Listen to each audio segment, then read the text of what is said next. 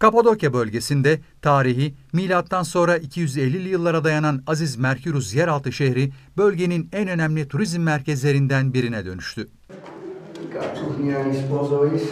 Aksaray'ın Güleağaç ilçesi Saratlı beldesinde bulunan Aziz Merkürüz yeraltı şehri, kilisesi, toplu mezarları, su kuyuları, tandırları, güvercinlikleri, ocakları, kilerleri ve ambar damlarıyla 40 yaşamsal alandan oluşuyor.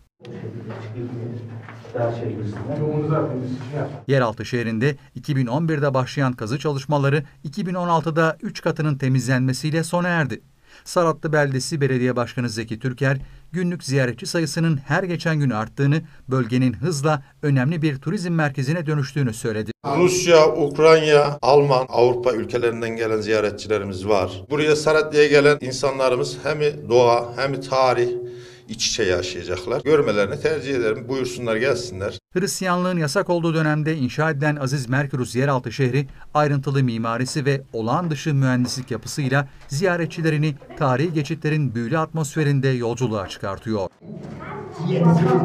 Ben